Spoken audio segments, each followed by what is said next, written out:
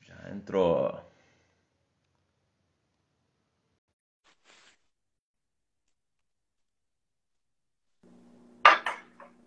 E aí? Boa noite. Tudo bom? Deixa eu tirar aqui. Tá me escutando? Tô te escutando. Tu tá me escutando bem? Beleza. Também. Perfeito. Tá ótimo. E aí, como é que estão as coisas?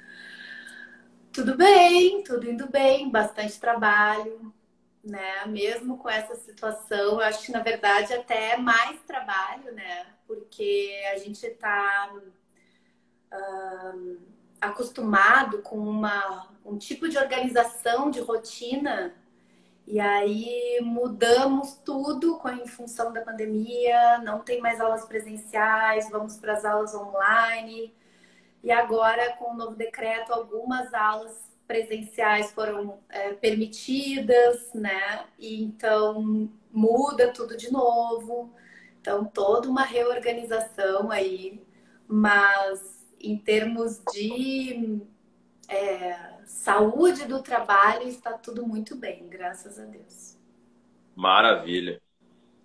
Então, enquanto o pessoal vai entrando, cara, eu vou te vou abrir o espaço para tu falar, mas antes queria explicar, né, qual é a, a ideia dessa live, que depois a gente vai deixar lá no Instagram, vai subir lá no Facebook, vai subir lá no YouTube, né? Vai ficar como como um material assim, como uma conversa é, muito mais ampla do que essa live, né? Do que vai desenrolar dessa live. Mas a ideia é justamente, né, a gente tratar das questões que a arte ela é transversal, né? é, tanto de uma questão, é, vamos pegar de da parte mais de educação, no sentido de formações, é, quanto dessa lógica de, de, de, digamos, de trabalhar essa questão em zonas de, de vulnerabilidade, que as pessoas estão vulneráveis, e também nessa questão é, de trabalhar com as questões até psicológicas, questões de né, que a gente sabe que trabalha com sensibilidade, trabalha com uma, uma outra energia, né, com, uma, com um outro conceito. Então, essa, essa nossa conversa vai, vai transitar por esse, por esse campo. Então, eu queria só que te apresentasse para o pessoal, né? Porque como essa live vai ficar, esse vídeo vai ficar para a posteridade. Então, te apresentar, contar um pouquinho da tua história, né? A tua formação em veterinária, depois da questão da, da, da dança, da arte. Então, tá contigo e depois a gente vai desenrolando aí, tá bom? Então tá. Primeiro de tudo, boa noite a todos que estão aqui agora. E boa noite para quem vai assistir depois. É, muito obrigada, Leonel, por essa oportunidade, por esse convite. Eu acho que vai ser uma conversa muito bacana. Eu gosto muito de falar sobre isso. É, isso é a minha vida, eu posso dizer assim. Então, vou, vou começar a contar um pouquinho da minha história desde o princípio. É, quando eu tinha. Eu sou nascida aqui em Porto Alegre, tá? Uh, eu tenho 42 anos hoje. É, por que, que eu falo a idade? Que é importante depois para a gente fazer um, uma linha do tempo, tá? Oi, Grace, boa noite. Um, com 3, 4 anos, quando eu estava na, na pré-escola, é, eu fui levada a um ortopedista porque eu tinha o, o, a articulação coxo-femoral virada para dentro, eu tinha os pezinhos para dentro, assim. E aí, na época, usando botinhas ortopédicas, e o ortopedista prescreveu como coadjuvante no tratamento fazer aulas de balé.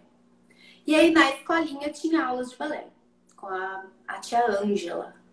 E aí, eu entrei no balé e tive meu primeiro contato assim com esse com esse universo e foi tipo uma liga completa assim, uma cola super bonder. Eu aderi a esse universo e nunca mais soltei. É, perdão, eu soltei durante um tempinho, mas eu já vou chegar lá.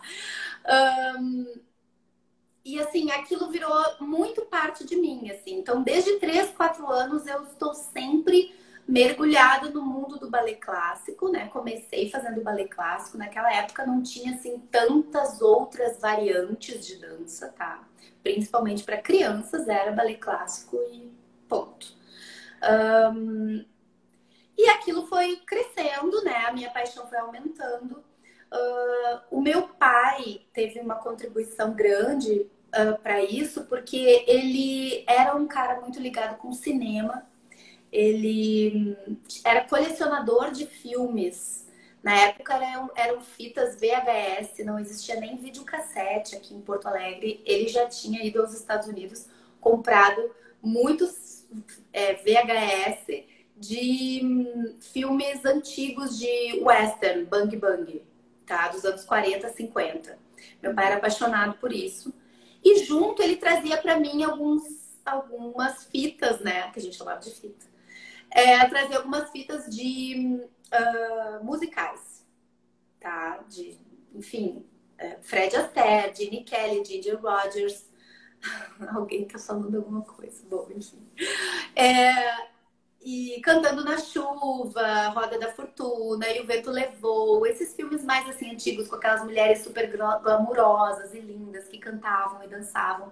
Então a minha infância foi toda muito permeada com essas imagens, tá? Aí quando eu tinha 11 anos de idade, eh, a Ana Botafogo veio fazer um, um participar de uma montagem de balé completo aqui em Porto Alegre pelo Ballet Vera Bublitz. A Bela Adormecida. Foi a primeira vez que eu vi ao vivo um balé de repertório montado uh, inteiro, tá? Com cenários todos, figurinos, todas as coreografias, enfim. E eu fiquei muito impactada com aquilo, aquilo foi arrebatador, assim, para mim. E eu disse: é isso que eu quero, é isso que eu quero fazer, é para esse lugar que eu quero ir. E aí eu fui fazer o balé daí de uma forma um pouco mais séria, digamos, né? No Ballet Vera Bublitz, aqui em Porto Alegre. Aí eram aulas todos os dias, de segunda a sexta. A gente ensaiava sábados, ensaiava domingos, ensaiava feriados. Eram vários espetáculos por ano. É, eu tive a oportunidade de dançar com muitos bailarinos internacionais, porque a Vera sempre fez esse intercâmbio. Então, assim, era primeiro bailarino do American Ballet de Nova York, primeiro bailarino do New York City Ballet, primeiro bailarino um, do ballet da Suécia. Enfim, muita gente de fora veio dançar ao nosso lado, assim, e eu sempre tendo muito esse contato. Uh, eu fui três vezes para Nova York fazer aulas lá, é, me especializar. Mas a gente sabe que a realidade da cultura e da dança aqui no Brasil, principalmente no Rio Grande do Sul, é algo muito difícil muito difícil. Então, assim, eu nunca tive uma. O meu sonho era ser bailarina. Eu nunca tive uma pressão da família para que eu fizesse uma faculdade. Não era uma pressão, mas era uma expectativa. No sentido de. É claro que tu não vais escolher ser artista, porque ser artista é voto de pobreza ou fica na marginalidade, né? Porque é desde sempre os artistas, principalmente aqui, vivem na marginalidade, né? Uh, no sentido de não ter acesso a todas as coisas e não ser reconhecido como profissão. Até hoje eu escuto, eu até ouvi falando isso com o pessoal que, que conversou sobre cultura, né? Até, uhum. hoje eu, até hoje eu escuto assim, tá, mas tu só dança? Tá, mas tu só dá aula? Tu trabalha com o quê? né? E, e é horrível a, a, tua profissão, a tua vocação não ser reconhecida. É uma coisa absurda, assim, não tem nem como descrever a sensação que isso tem. Então, e como a minha família sempre foi muito ligada com, com o meio rural, o meu irmão, ele tem, ele lida com cavalos de raça, ele tem criação de gado, planta arroz e tal, é, arroz e soja.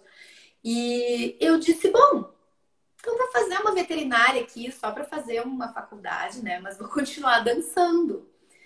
E mas eu não queria ser professora, não era meu sonho assim ser professora de dança. Eu queria ser bailarina e para isso eu teria que ir embora. E aí eu encontrei a minha primeira barreira da realização do meu sonho, que foi é, olha, Roberta Adil, minha colega. Oi, amada. É, a minha primeira barreira que foi a seguinte. Lise, oi! Um, o bailarino tem bailarino clássico tem um tipo físico, uma estética pré-determinada. Precisa ser magérrimo, precisa ser ter, ter pernas longas, precisa ter braços longos, pescoço longo, precisa ter o que a gente chama de andeor, que são os pés virados para fora, naturalmente, sem entortar o corpo todo. É, precisa ter pernas altas, precisa saber girar e tal. E fisicamente, o meu corpo nunca me impediu de dançar, mas eu não pertencia e não pertenço até hoje a esse tipo físico padrão de bailarina russa. Até porque ninguém aqui no Brasil é russo, né? Só é russo quem nasce lá.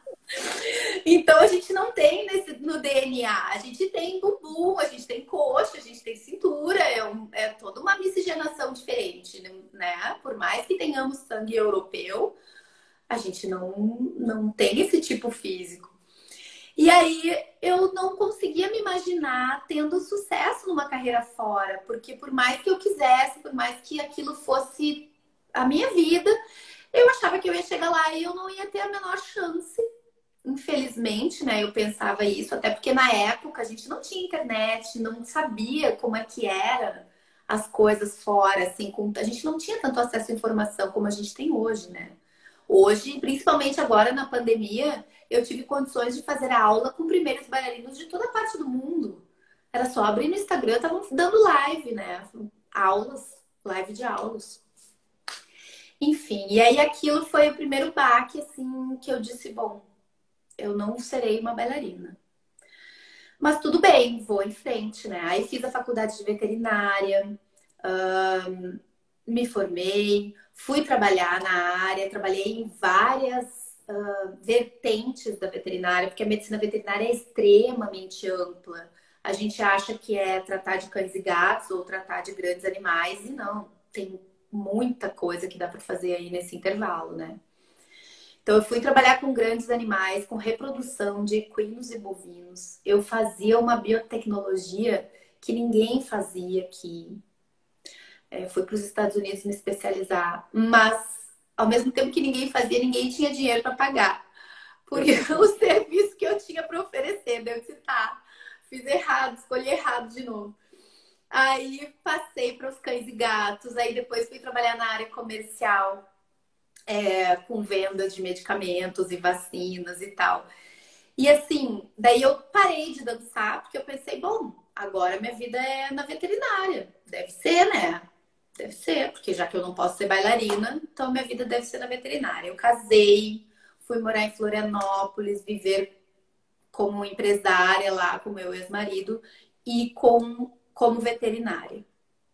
E aí que começou o meu processo de autoconhecimento.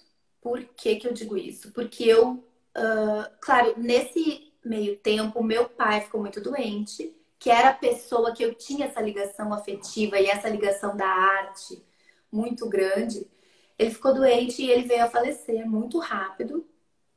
E aquilo foi muito chocante para mim. Também porque eu assisti o momento do desencarne, digamos assim, era eu que estava lá com ele. E aquilo foi muito marcante para mim, foi muito chocante. E eu comecei um processo depressivo, startei um processo depressivo e só fui piorando, piorando, piorando, piorando. Por quê? Porque eu não havia parado de dançar, porque eu acreditava que tinha feito uma escolha errada de carreira. O meu casamento foi fracassado, eu não gostava do lugar onde eu morava. E, e aí, assim, depois eu fiquei 10 anos mais ou menos nesse processo, tá? Foi muito sério, muito grave. E desses 10 anos, eu posso dizer que uns 3 anos foram de incapacidade total, assim, que eu tive que pedir afastamento do, do trabalho e tal. E eu não conseguia enxergar uma luz no fim do túnel, tá? E é muito engraçado porque eu não. Eu até estava conversando com uma amiga minha sobre isso. Eu não me lembrava que eu dançava. Olha que coisa louca. E assim, é, algo que fez parte de mim e que hoje eu entendo, né, depois de todo esse processo de saída, que a gente pode falar um pouco mais depois, é, hoje eu entendo que eu e a dança somos uma coisa só. Eu não consigo existir mais sem estar conectada com a dança, mas eu não sabia disso na época. Então eu achava que eu ia conseguir viver sem a dança e não consegui. É... E depois de ficar muito mal mesmo, muito, muito, muito, precisar de muito auxílio, porque eu demorei muito para me tratar, eu não tinha tanto, tanta compreensão por parte da família do que estava acontecendo. E aí eu disse: não, eu vou até o fundo do poço, porque eu quero entender tudo o que está acontecendo comigo e eu quero sair disso. E aí eu comecei, eu percebi que, mesmo com a medicação, porque eu passei por diversos psiquiatras e psicólogos, mesmo com a medicação, é... ó, querida, qualquer manifestação da arte salva, sim, chegaremos lá. Mesmo com a medicação, Leonel, eu percebia que se eu não mudasse o meu relacionamento com as minhas emoções, com os meus pensamentos, com os meus sentimentos, eu não ia conseguir fazer uma história de vida diferente, tá? E aí eu disse, bom, como é que eu posso fazer isso? Então, vou me autoconhecer, vou para a terapia. E aí eu tive que. Eu comecei um processo completamente do zero. Tipo assim, a minha vida toda que eu havia construído, que eu achava que eu havia construído, que me levaria para um lugar legal, não me levou para um lugar legal e ruiu. Eu disse, bom, então eu vou começar do zero, tijolinho por tijolinho. E, e aí eu comecei uh, eu fui muito fundo no, no, nesse trabalho de autoconhecimento. E eu também voltei a ter contato com a dança porque eu voltei para Porto Alegre para me tratar. Eu não podia ficar lá sozinha. E havia risco de suicídio, enfim, eu, eu fiquei bem. Foi, foi bem uh, profundo, assim, foi bem grave, essa é a palavra que eu queria.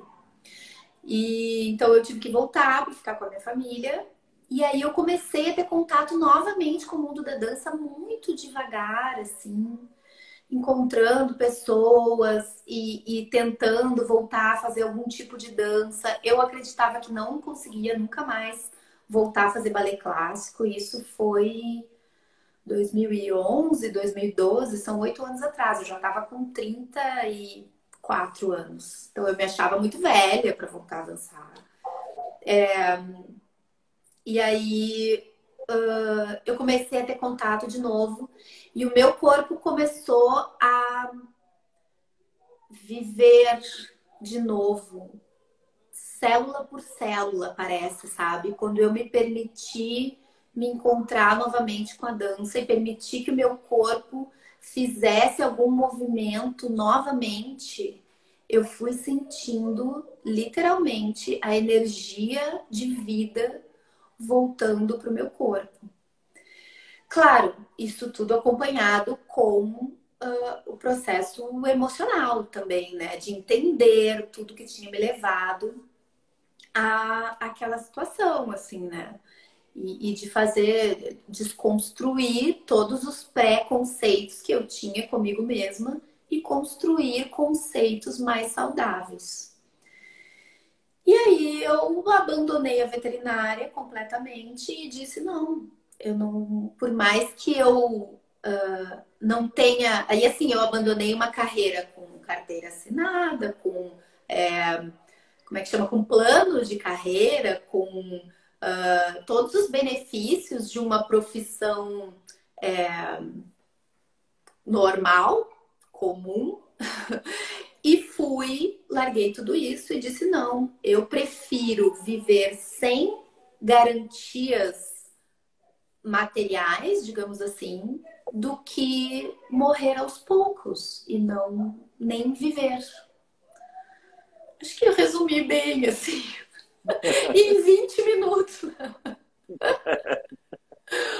Não, mas, mas, é importante, porque isso é uma, né, é, demonstra a, qual é o objetivo da nossa conversa, né?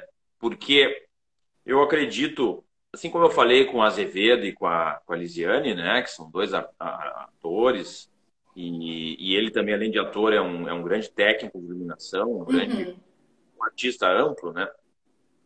É, essa, esse aspecto, né, que a gente pensa muito arte como, é, como algo, digamos, algo supérfluo, né? Uma uhum. lógica que, ah, a gente pode viver, por exemplo, assim, a gente coloca assim como prioridade, ah, segurança, saúde, educação, e, por exemplo, a arte é entretenimento, né? Ponto. Uhum. É algo que, é, eu gosto, mas tipo, não é algo essencial na minha vida. Mas essas declarações e, e, e, por exemplo, se a gente começa a refletir esse tempo, por exemplo, que a gente está em, em, em, quarentena, as pessoas estão querendo ir para cinema, as pessoas estão querendo ir para teatro, as pessoas é, é, e começa a dar uma sensação. É, isso o Tom Cruise mesmo falou isso. Claro, tem a questão toda mercadológica, mas ele deu uma declaração que eu achei curiosa. Assim, ele disse: eu precisava ir para o cinema. Ele lá na Inglaterra já podem ir ao cinema. Né? E, mas, mas a gente começa a perceber, por exemplo, se a gente começa a pensar assim, o que, que seria da nossa vida nesse contexto de pandemia, por exemplo? O que, que seria da nossa vida sem, é, sem a música? O que, que seria da nossa vida sem, sem a, o audiovisual, por exemplo? E daí no audiovisual inclui dança, inclui é, uma série de questões. Mas né, nesse contexto que a gente não pode estar em, estar, em, estar em contato, mas a gente tem que fazer o entretenimento. Bom, imagina a nossa vida sem, por exemplo, Netflix, Amazon ou canais de, de, de, de TV a cabo. E é tudo, tudo feito por artistas, tudo feito, né? É entreten... O entretenimento acaba sendo a salvação da, do nosso cotidiano, porque imagina se não, não existissem atores, não existissem dançarinos, não existissem músicos, e, e a gente tivesse que ficar encarando essa realidade como a gente está encarando agora, sem nada. Só né, na base do, do, do da dureza. Uhum. Bom, já tem uma série de situações de depressão e, e, e, né, e toda uma questão é, sensível. Imagina se não tivesse esse, né, é, essa, esse aspecto né, da, da, do nosso cotidiano. Então é muito interessante tu trazer essa, essa tua vivência, porque é importante que as pessoas tenham a percepção real do que, que a arte é capaz de fazer e da relevância que a arte tem no teu caso especificamente a dança, né, a expressão uhum. através da mas mas isso é bem é muito interessante assim de, de trazer essa essa realidade, né? E tu tem várias outras atividades em relação à dança, né? Que tu, tu trabalha outras questões, né? Então é, é interessante Sim. trazer para o pessoal, né? Sim, eu acho assim, ó, uh, eu acho que a arte é fundamental por dois aspectos, nesse sentido que a gente está falando de, de saúde, né? Um, de saúde mental, vamos falar, emocional e psicológica. É, eu acho primeiro que a arte, é, que as crianças todas deveriam, a arte deveria ser encarada como é, educação e não como lazer, né?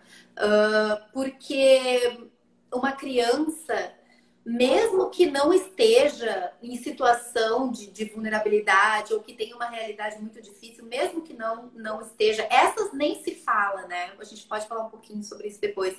Mas as, as que não estão, vamos pegar uma criança que, que, que tá bem, assim. É, o contato com o belo, o contato com o subjetivo, né? Fazer essa criança olhar para si, olhar para aquilo que ela sente quando está em contato com uh, uma música ou quando está em contato com uma imagem, seja de artes plásticas ou, quando, ou num filme, né? Então, fazer a criança perceber que a arte uh, causa uh, mudanças, né? Que, que a arte uh, faz ela mudar de estado é muito importante para a formação da própria personalidade da criança, né? Da parte que não é herdada que pode ser transformada pelo ambiente, né? E aí a gente vem e fala das crianças que não têm um bom ambiente, que não, não vivem num bom ambiente, que estão vivendo com violência toda hora, que tem pais é, envolvidos no crime ou que, que passam muita necessidade, né? Então a criança é esse tipo de criança tendo contato com a arte tem duas possibilidades. Ela, primeiro, tá tendo contato com o belo e com algo diferente daquela realidade que ela vive, então é, é, uma, é um escape, né? E ao mesmo tempo, então, assim, toda vez que ela quiser sair daquela realidade, ela pode ir olhar para a arte, né? E, e viver uma outra realidade. E a outra coisa é que pode virar uma carreira, pode virar uma profissão, né? Quantas pessoas poderiam ter tantas oportunidades diferentes se seguisse por esse caminho, né? Uh, e a gente tivesse incentivo, que fosse encarado de fato como uma profissão. E então eu acho muito importante, né? E eu, como professora, eu sou professora de crianças, de adolescentes, de adultos e de terceira idade. Tá? E eu trabalho com balé, com alongamento, com jazz Broadway, com várias modalidades de dança, tá? E eu percebo, e eu gosto muito de fazer isso no meu trabalho, que é um, orientar as crianças, os alunos em geral, de qualquer idade, para esse contato com o subjetivo, com o que aquilo está trazendo para eles de forma que não é, não da forma de exercício físico, entende? Mas assim, qual é a tua sensação? Por exemplo, vou dar um exemplo, tá? Eu mostro lá uma sequência de exercícios e daí eu tenho uma aluna que faz assim. Ai. Ou erra e faz, ai, droga, errei. Né? E daí eu pego, paro a música e digo, mas uh, Márcia, vamos usar um nome hipotético. Nome da minha irmã. o, o que, que, acontece? Qual é a sensação que tu tem? Por que, que quando eu, eu passo a sequência e tu erra, tu faz, ai, que droga. Por quê? Tu acha que a minha sequência foi muito difícil? Tu tá com raiva de ti mesma porque tu não acertou a sequência? Tu tá sendo muito crítica contigo? Tu tá pensando que tá perdendo tempo, que tá atrasada para sair para não sei para onde? Ou teu corpo não responde aquilo que tu tá pedindo? Sabe? Então, assim, eu, é, eu cuido muito dessa parte, de fazer as pessoas perceberem as suas reações e perceberem as reações que a prática de um movimento artístico é, causa nelas mesmas. E eu acho que isso é fundamental no processo de autoconhecimento, né? Para depois essa pessoa poder fazer escolhas melhores, né? Na própria vida, assim, tipo, ah, não, me veio uma raiva porque eu tô errando a sequência e eu tô achando a sequência fácil, mas eu sou uma idiota porque eu tô errando a sequência. Não, não é bem assim. Eu tô errando a sequência porque eu preciso ver mais vezes ou porque, sabe? Então todo todo prisma muda, né? Tu pode enxergar tudo de uma outra forma. E com as crianças e adolescentes também, principalmente nos dias de hoje, onde a informação, a tecnologia é tudo muito rápido. Então, assim, um momento onde elas param e tem que prestar atenção em mim, que estou mostrando o exercício, estou faz, falando passo a passo. Isso só por si só já é um, um, desliga, desliga de tudo fora. Vamos meditar aqui, vamos olhar para o próprio corpo, vamos prestar atenção nas respostas do nosso próprio corpo. Então, isso faz parte da educação de uma criança e de um adolescente, penso eu, né? E aí, voltando para o outro lado do, de hoje em dia, da pandemia e, de, e é, tudo isso de arte que a gente está consumindo agora de dentro das nossas casas, tudo isso é feito por profissionais. Né? E às vezes profissionais que, que são considerados amadores porque não tem nem como ser profissionais, não existe uma regulamentação da profissão. Né? Não existe uma garantia de direitos de um profissional. Né? Um, então, como assim que a arte é reconhecida e, e só como lazer? Não dá, não dá mais para isso. Né? A gente precisa olhar de outra forma, a gente precisa perceber que uh, não é só isso, é isso também. Mas tem um, um viés, um valor muito mais profundo aí também, né? E como é que tu vê essa questão é, das oficinas de descentralização que existiam um tempo aqui em Porto Alegre, dessa expansão né, das, oficinas muito focadas em, era basicamente né, dança, é, teatro e música, dança, teatro, música e alguma coisa de, de, de artes plásticas, né? Mas, mas basicamente eram essas quatro vertentes aí. Uh, e, e, foi descontinuado, né? Isso não existem mais políticas públicas com essa lógica. Qual é a tua percepção de mudanças assim? É, por exemplo, quando, como a gente falou no início, né? Tem uma região com alta vulnerabilidade, uma, uma gurizada lá que sai do, de, um, um colégio né, precário, é, fica no período no contraturno nas ruas ali, porque a mãe está trabalhando, enfim. E aí, né, que entraria essa lógica dessas, dessas práticas, né? Sejam, claro, culturais, mas também tem a parte esportiva e tal, mas, uhum. mas vamos pegar a questão da cultura. Como tu vê, que impacto, no teu ponto de vista, né, a arte traz para regiões né, é, é, mais miseráveis e, e com uma, uma grande vulnerabilidade social? Olha, é até difícil falar sobre isso porque é, eu acho assim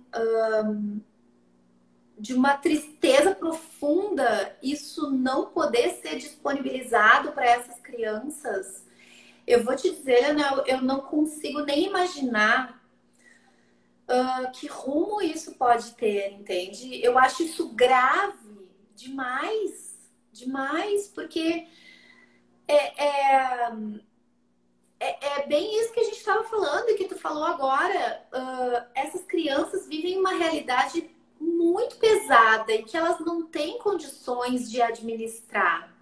A maioria delas, né? Às vezes a gente pega um ou outro que consegue, mas a gente não sabe nem devido ao quê, né? Porque orientação não tem. O ambiente é horrível.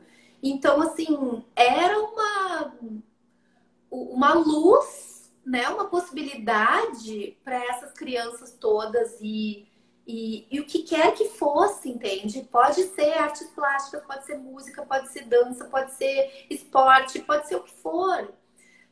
Um, é, mas assim, é, é realmente muito grave, eu acho, não se ter mais essas opções para essas crianças. É, eu nunca trabalhei com isso, mas eu tenho muitos conhecidos que trabalham, trabalharam, e assim, os relatos são extremamente tristes, no sentido de, de ter crianças que não tinham uma roupa para fazer a aula de dança, por exemplo, sabe? E aí tinham vergonha de ir para aula de dança. Os locais sempre foram muito precários, né? E, mas assim, pelo menos tinha, né? Agora nem tem a opção mais. É, e assim, às vezes de, de, crianças que, que não tinham o que comer e iam para a aula porque lá esqueciam da fome.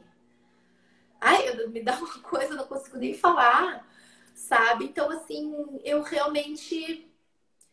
Qual, quais são as opções para essas crianças, entende? Que opção tem? Não tem escola decente e não tem esse. Uh, esse outro lado etéreo, imaginativo e, e, lúdico, elas não têm contato também. Quem, o, o, que vai ser?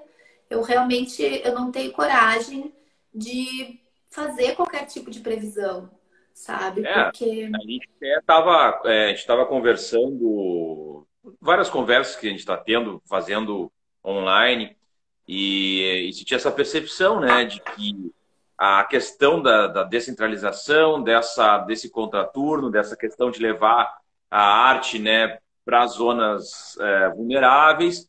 Isso tinha um impacto gigantesco na medida em que, além de tu trabalhar a sensibilidade, além de ter uma atividade em que o Estado, em tese, que são oficinas que né, seriam organizadas uhum. pelo Estado, né, Estado de prefeitura, é, isso dava uma, uma sensação de, de, de presença estatal de é, possibilidade de trabalhar aspectos sutis né, na, na, nas pessoas. E, além disso, muitas saíram dali para serem artistas mesmo. Sem dúvida. Mesmo, entendeu? Ah, músicos, dançarinos. Teve, teve casos dessas oficinas, por exemplo, é, que, que, foram ser bailarinos fora do país. Sim, entende? sim. Então, sim. É, é, é, algo que é muito relevante o impacto, né? Não é um investimento tão absurdo, e o impacto, Não. né, em termos de vida e tudo, é, é, é, muito relevante.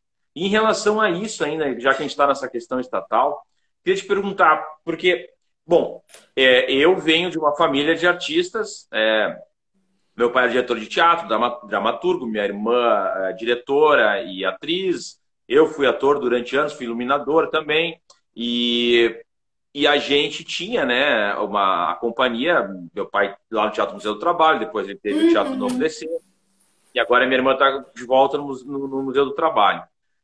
Mas a gente observa é, que tem uma dificuldade hoje na questão de espaços para novos grupos, de espaços para ensaio, de espaços para apresentação, de, de, até de fomento né, dos fundos de cultura e tal é, que acabam impactando também é, na dança, principalmente, né? Porque a dança, é, em termos da, das artes cênicas, é, ela é menos conhecida, digamos, ela tem menos uh, visibilidade né, nesse contexto. Sim, sim. Então, eu sei porque eu tenho várias amigas, a Letícia Paranhos, tem a Sayonara. Ai, querida! Adoro Letícia. Tem a, a Eneida, enfim, eu, eu tenho bastante gente da dança, o Denis que eu conheço, né? Por, enfim, até fiz bastante é, é, é, trabalhos com eles, né? Uhum. Então, uh, eu queria que desse essa percepção dessa questão de, de espaços para ensaio, de espaços para apresentações. Que, que, qual a tua ideia? Assim, o que, que seria o ideal, digamos, o básico ideal, no teu ponto de vista, que a gente poderia ter em Porto Alegre para é, é, ter um fomento e ter uma, uma efervescência em relação à dança, especificamente? Nossa, falta tanta coisa. Olha, hum, eu conheço realmente tantos grupos e eu fiz parte de um grupo que ensaia em garagem de casa, assim, é, não tem espaço e os espaços privados são realmente muito caros para se alugar para este fim, né? E então, na verdade, Leonel, falta tudo. Falta espaço para aula, falta espaço para ensaio, falta espaço para é, mostrar esse trabalho, né? Um, para o público no geral. Falta. E assim, às vezes não precisava nem ser novos espaços. Os espaços que tinham eram não eram suficientes, mas podiam ser manejados, mas cada vez tem menos espaço. Cada vez nos tiram mais coisas, né? E assim, os editais, as, as, é, as oportunidades que as pessoas que, que não têm uma escola de dança, que não. É, que não pode, não tem condições de alugar um teatro para fazer um espetáculo, os editais são sempre muito uh, complexos, sabe? É muito difícil de preencher todos os requisitos. É, é, tanta burocracia que muita gente desiste e muita gente não tem nem condição de, de, de tentar. Porque são essas pessoas que, que não, não tem nem onde morar. Como é que vão, sabe? Conseguir esse tipo de, de, de, de recurso, sabe? Então, falta tudo, falta tudo, falta, mas na verdade, o básico, falta esse olhar do, do, do poder público, falta esse olhar para a arte como uma forma de, de, é, de, é, de educação do seu cidadão, certo? Em todos os aspectos, daqueles que estão se formando e daqueles que já estão ali, que são cidadãos ativos na sociedade, né? Então, é isso que falta, falta esse olhar, cada vez é nos cortado mais, cada vez, e em todas as esferas, né? Tanto aqui, quanto no governo, quanto no, no, no federal. É Não, sempre... E, e, por exemplo, né, as pessoas, ah, ah, muitas, como a gente estava falando também no início, ah, mas além de, de ser dançarina, tu é o quê? Além de ser ator, tu é o quê? Né? Eu, eu sou exemplo clássico, eu, eu sou exemplo vivo dessa situação, de que, por exemplo, se não fosse o teatro, se não fosse especificamente o teatro, eu não teria tido formação, eu não teria tido acesso a, entende? Porque a minha formação eu devo ao teatro, digamos, pelo meu pai, porque era o trabalho dele na companhia, né? E, e, e, isso, claro, daí paga colégio, paga não sei o quê, paga material e paga, né? Uhum. E depois, quando, quando eu comecei a, a, atuar mesmo, também me formei em história e tal, mas eu, eu já fui direto para a atuação. Uhum. Fiz publicidade também. Mas se não fosse a arte, eu não teria forma, eu não seria nada, digamos, eu não, não teria acesso, digamos, né? Eu devo, eu devo tudo ao teatro, por exemplo, especificamente ao teatro.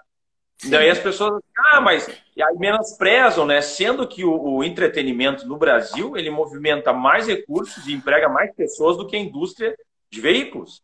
Sim. Volkswagen, Ford, juntas, todas. O entretenimento, é. digamos, né? Vamos chamar a arte, a arte, que eles chamam de entretenimento, mas a arte movimenta a economia mais do que a indústria uh, automobilística.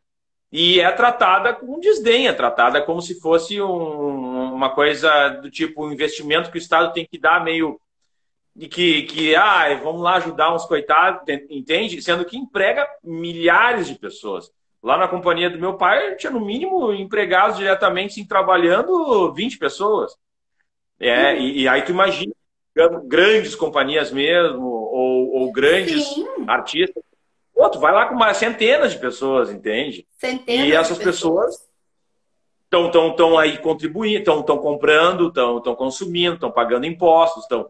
Tem que faz girar toda a economia, além de toda a questão né, da, da, da, do psicológico, da questão da sensibilidade, da questão de ter uma, uma, uma atividade né, laboral, uhum. mas uhum. também, vamos pensar assim, recolhe impostos, faz girar a economia e, e, é algo que tem que ser visto dessa maneira. Entende? Sem no dúvida. Sem dúvida, no meu também. E agora, falando contigo, eu fico pensando por que, que não é visto? Né? E, e assim, a resposta que eu tenho, que é completamente clichê, mas eu acho que é, é porque faz as pessoas pensarem, né? Faz as pessoas criarem. Uh, conceitos faz as pessoas entrarem em contato com suas dúvidas e, e questionar, questionar tudo o que está acontecendo, né? Questionar a realidade onde elas vivem e tentar fazer alguma coisa melhor. Sinceramente, essa é a explicação que eu tenho, porque não faz nenhum sentido. Para tu fazer um, um balé completo, tá? O Lago dos Cisnes. O que tu vai precisar de gente? Porque tem os bailarinos, tem um, o pessoal da técnica do teatro, tem do cenário, de figurino, de então assim, no figurino não é só a costureira, figurinista, não, tem a pessoa que vai desenhar o figurino, tem a pessoa que vai fazer, tem a pessoa que vai fazer o tecido, tem o transporte do tecido, tem as lantejoulas, tem então, assim, é um monte de coisa envolvida. Daí depois lá no teatro, daí tem a pessoa da bilheteria, daí tem a pessoa que limpa o teatro, daí tem... Então, assim, gira um monte na economia e não faz sentido nenhum isso não ser olhado como um, uma oportunidade de crescimento para o país no geral, sabe? Não faz sentido nenhum na minha cabeça. Não, mas é, exato. Não, mas então, olha, vou deixar para tu fazer as considerações finais aí, a mensagem que tu quiser passar. Foi muito, muito bacana. Foi. Baixa, agradecer de coração. Né? A gente está perdendo o Jornal Nacional e conversando. conversando Nossa. sobre cultura. Mas eu vou deixar para ti as considerações finais. Acho que foi muito, muito esclarecedor, muito gratificante sim escutar as tuas palavras. Obrigada.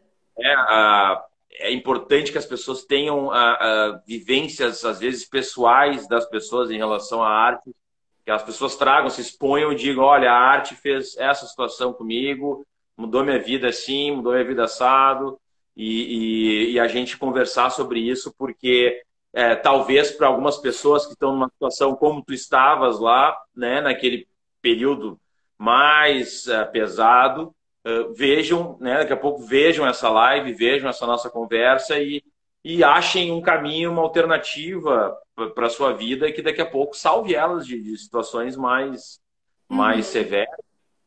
Então, eu deixo aqui meu muito, muito obrigado e as considerações finais aí. Mas é... assim, as considerações finais pode ir longe, né? Não precisa. tá bom. Muito obrigada, Leonel, por esse espaço, tá? É, por eu estar podendo expor, porque eu acho realmente muito importante. É... Antes eu morria, morria de vergonha da minha história, assim, né? Mas depois vai passando o tempo e a gente percebe o quanto é importante todas essas vivências e o quanto isso é, pode ser salvador para algumas pessoas, porque alguém pode olhar essa live, pode assistir essa live e dizer: nossa, se ela passou por isso e saiu e hoje está aí falando com o Leonel e contando essa história toda desse outro ângulo, talvez eu tenha chance também. Então, assim, se eu conseguir salvar uma vida, eu estou muito feliz. É... Outra coisa que eu acho importante dizer é que eu também tenho um filho de três anos e meio e, e a arte é que vai educá-lo, porque o pai dele é bailarino também. E a gente vive da arte, assim como tu foi educado pelo teatro, o Romeu, meu filho, vai ser educado pela dança, digamos assim, né? a vida dele vai ser um, proporcionada, assim, a continuação da vida dele vai ser proporcionada pelos meus rendimentos com o trabalho com a arte, né? Então, isso também é muito importante dizer que eu gostaria de poder continuar fazendo isso, não precisar parar de fazer isso, né? Parar de trabalhar com aquilo que eu gosto, com aquilo que eu tenho paixão e que eu acho que faz a diferença na vida das pessoas, porque eu não vou ter como sustentar meu filho, digamos assim, né? E por último, eu queria dizer que assim, cada pessoa tem uh, o poder de fazer alguma coisa por si, por alguém da família, por alguém que está passando alguma dificuldade.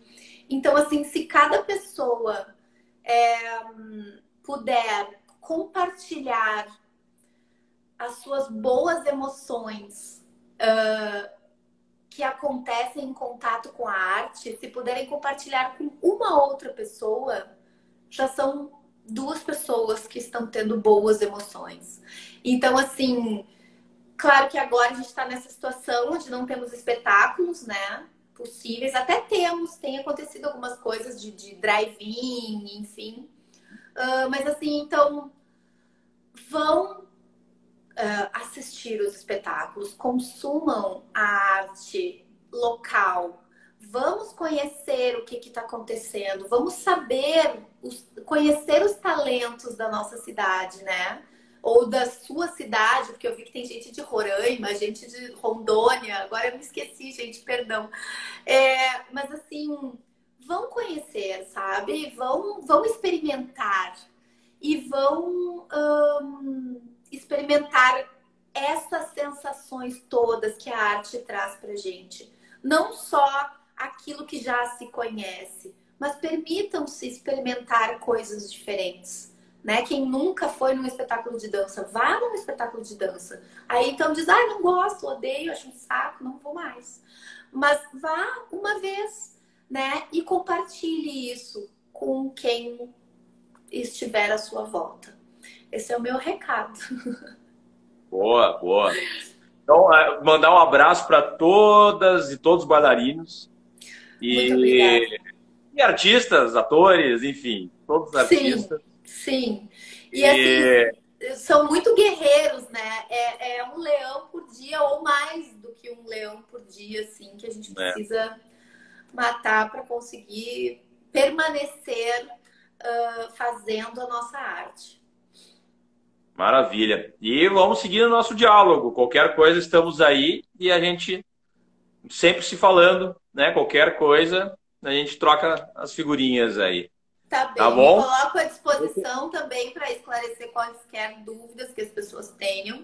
Podem entrar em contato comigo. Ah, sigam, sigam a Caru aí no, no, no Instagram. Tem alguma, alguma, alguma escola que tem alguma um Instagram ou grupo que tu queira divulgar aí? Olha, eu quero divulgar o meu grupo, se, se for possível, né? Que é o arroba MoveItPoa, M-O-V-E-I-T P-O-A. Move It Poa é um grupo que, assim, é um grupo muito recente, mas a gente já vem colhendo bastante frutos de, de sucesso, assim. É, e a gente tinha uma proposta para esse ano de fazer, é, criar uma cultura, olha só, criar uma cultura de que as pessoas fossem, por exemplo, para um restaurante assistir um show também. Então era toda uma proposta de Broadway, de, de, de show mesmo, assim, sabe? É, de, de releitura de musicais e tal. E, enfim, a gente não pôde concretizar isso esse ano, mas a gente vai, vai continuar com a proposta. Então, é, para me ver como bailarina, é dentro do grupo Move. E para me ver como professora, daí eu trabalho na escola chamada Nova Estação Escola de Artistas. E daí eu trabalho com as crianças e adolescentes. E com as mulheres adultas eu trabalho no espaço de dança. Então podem seguir todas as arrobas lá e, e acompanhar o meu trabalho. Muito obrigada, Leonel, mesmo. Obrigado, eu te agradeço aí, obrigado mesmo. Obrigada. Tá? Tchau, tchau. Beijo, boa noite. Beijo, tchau, tchau.